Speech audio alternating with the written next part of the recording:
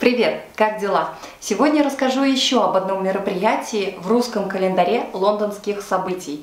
Russian Ballet Icons, что в переводе означает гала-концерт под названием «Иконы русского балета». На это мероприятие я попала практически сразу же, когда только приехала в Лондон в 2011 году. Тогда я уже э, начала работать на э, московскую компанию Main People в качестве фоторепортера. И после того, как отсняла уже первое событие 80-летия э, Михаила Горбачева в Royal Albert Hall, меня направили продолжать снимать э, репортажи русских событий в Лондоне. И одним из таких мероприятий оказался Russian Ballet Icons. Естественно, я получила аккредитацию аккредитацию, и когда я приехала туда, а, у меня было задание снимать сам концерт, то есть звезд русского балета, а также гостей, которые посетили это мероприятие. Дамы в длинных платьях приезжали на шикарных лимузинах. А, Все это происходило в театре Колизей. В перерыве между двумя частями концертной программы а, был фуршет – в общем, это мероприятие для сливок русского общества, так скажем.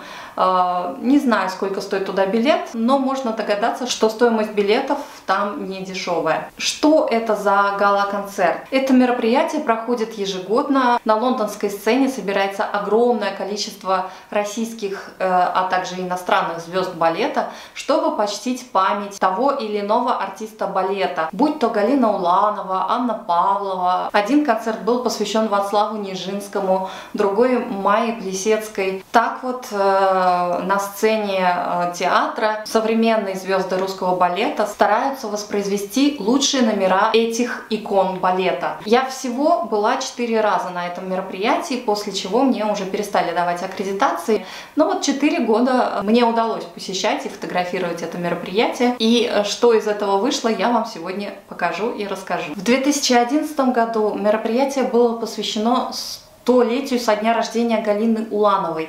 И в этом концерте исполнялись в основном ее лучшие номера нашими современными артистами балета, такими как э, Светлана Захарова, Ульяна Лопаткина, Евгения Образцова, Марат Шемиунов, Дарья Климентова и многие-многие другие звезды не только русского балета, но и английского и интернационального, если это можно так сказать. То есть из других стран тоже артисты балета приезжали на этот гала-концерт. Мне очень понравился и запомнился танец умирающего лебедя в исполнении Светланы Захаровой. До сих пор помню, как я с замиранием сердца снимала передвижение балерины на пуантах.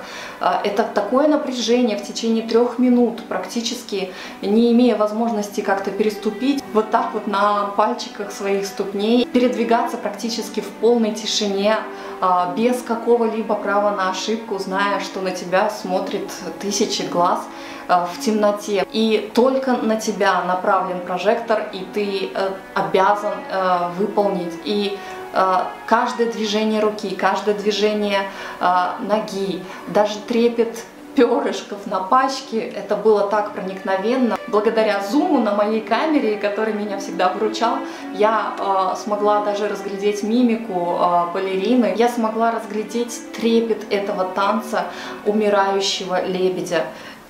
Это просто не передать э, словами. Вот смотрите, как это было.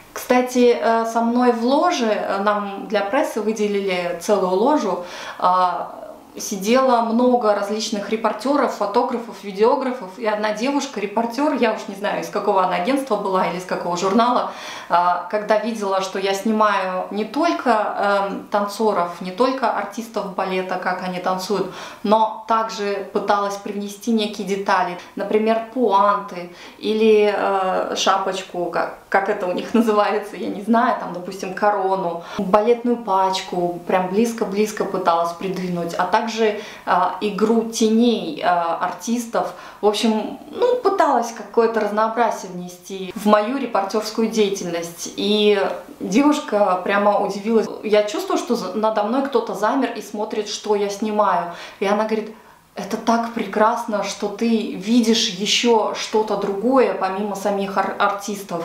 Я говорю, ну я пытаюсь как бы разнообразить свой визуальный ряд и привнести больше всяких деталей. Я всегда на детали э, делаю акценты, это, наверное, моя фишка. Но, как я уже рассказывала, конечно, для новостных источников новостные картинки должны быть более широкого плана, то есть сцена со зрителями, как можно больше народу захватить надо. Но для себя лично я люблю снимать детальки. Также в перерывах между первой и второй частью мне приходилось фотографировать русских гостей, возможно, каких-то знаменитостей или звезд. Я многих не знаю, но кто желал сфотографироваться на стенде Russian Ballet Icons, я фотографировала. И вот как выглядят наши русские в Лондоне, вам показываю. После чего я попала на автопати, то есть э, был некий такой фуршет для звезд этого балета и для высокопоставленных гостей. Ну там, по приглашениям. То есть сливки общества собирались уже рядом с театром Колизей, э, в отеле, не помню его название. Ну, в общем, меня туда тоже пустили. Я фотографировала людей э, на стенде Russian Ballet Icons пофотографировала там фуршет, как эти тарелочки стоят, с какими вилочками и так далее. Ну и потом, как я уже рассказывала, я как Золушка побежала в метро, на последний поезд которого я опоздала, и э, вернулась уже домой в районе трех часов ночи, так как на каких-то перекладных и пешком возвращалась ночью домой. Как я нарвалась на маньяка, обо всем об этом я уже рассказывала, смотрите в этом ролике. Слава богу, э, судьба уберегла меня от э, несчастного случая, и э, я благополучно добралась до дома. В 2012 году мировые звезды балета вновь собрались на лондонской сцене, чтобы почтить память легендарной балерины Анны Павловой. Такие звезды, как Ульяна Лопаткина, Марат Шамиунов, Сергей Полунин, Евгения Образцова, а, Светлана Захарова исполняли любимые партии Анны Павловой на сцене театра Колизей, такие как «Корсар», «Ромео Джульетта», «Жизель», «Лебединое озеро» и многие-многие другие. Просто нет слов а, передать, какого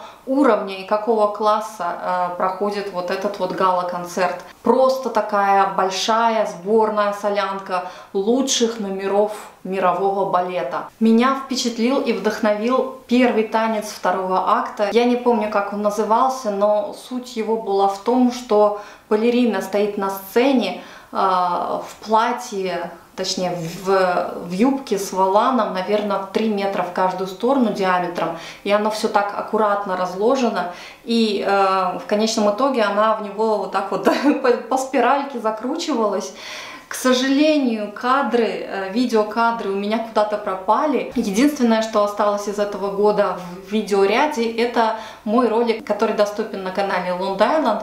Но я сюда включу некий фрагмент из этого ролика, э, где можно посмотреть, э, какие звезды балета участвовали в этом концерте. Все артисты, мои любимые, многих я узнавала уже на этих концертах, но вот Евгения Образцова, допустим, я знала еще еще по Мариинскому театру э, в Петербурге. А также у меня еще был опыт с Мариинским театром в Лондоне, когда был сезон Мариинского театра в Royal Opera House.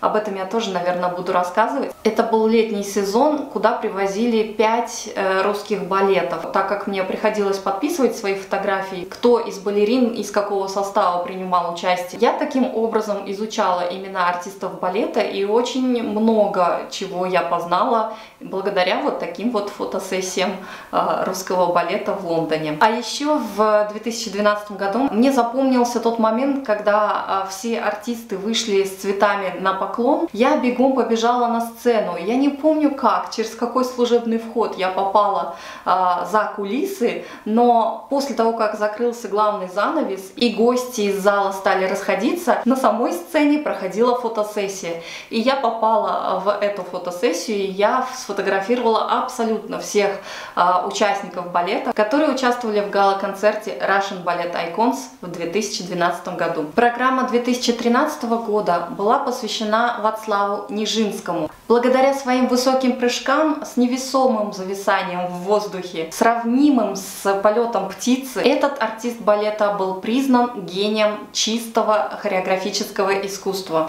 Нижинский исполнял э, партии таких балетов, как «Жизель», Клеопатра, Жар птица, Призрак розы и Карнавал. Но главной и любимой его ролью была партия Петрушки из балета Стравинского, с которой он ассоциировал себя. Мастер танцевал с такими балеринами, как Анна Павлова, Матильда Ксишинская, Тамара Красавина, но он абсолютно не терялся на их фоне. Естественно, на этом концерте мне запомнились мужские партии э, балета Петрушка. Очень интересная мужская партия, исполняющая соло э, в лучах софитов в кромешной тьме.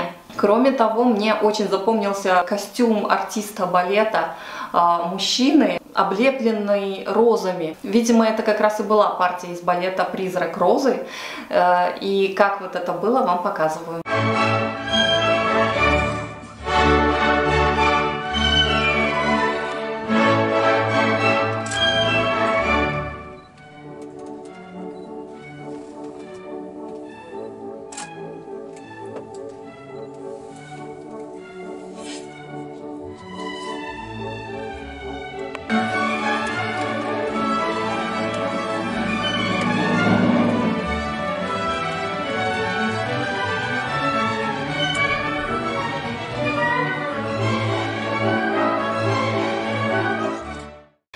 2014 году одну из моих фотографий опубликовали в газете The Times. Это было мое первое достижение, э, первая публикация в британской прессе. Ну вот, пожалуй, все, что я хотела рассказать вам о гала-концерте Russian Ballet Icons, который ежегодно проходит в Лондоне. Если вас интересует балет и вы находитесь в Лондоне, очень рекомендую посетить это мероприятие. Незабываемые впечатления вам гарантированы. Пока на этом все. Не прощаюсь с вами. До новых встреч!